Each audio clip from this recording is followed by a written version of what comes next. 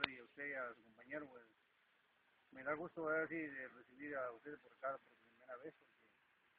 Porque, pues, usted me está preguntando, ¿verdad?, de, la cultura, pues. Y ve usted ahí a, a mi muchachos, son mis jóvenes, comenzaron de la edad de, de siete años, los más pequeños. Entonces, pues, para que no sean niños de la calle, por eso mismo, estamos, bueno, a lo menos yo me preocupo por ello, en conseguir el resto de instrumentos. Y estamos en, ahora sí, ellos están enseñando de lunes a sábado, de 3 a 6 y de 6 a 9. Usted me va a preguntar por qué, por qué dos turnos. Por lo mismo, no hay, no alcanza instrumento para un solo equipo. Los instrumentos se tienen que compartir. Por eso es que tenemos que hacer dos turnos.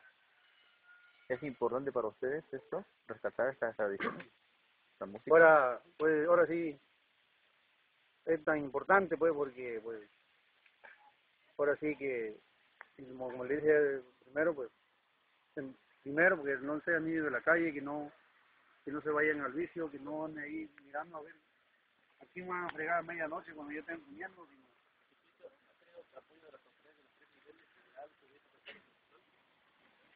Pues los, los instrumentos que ve usted ahí, voy a hacer la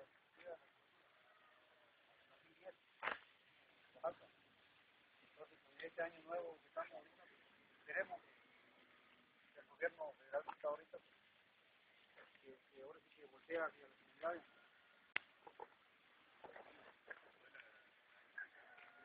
La cultura, pueda apoyar más a la cultura. Pues la, la mayor parte de música regionales de Oaxaca, como son el Nige, son jarabe de Betaza, o sea, pura música regional por la mayoría.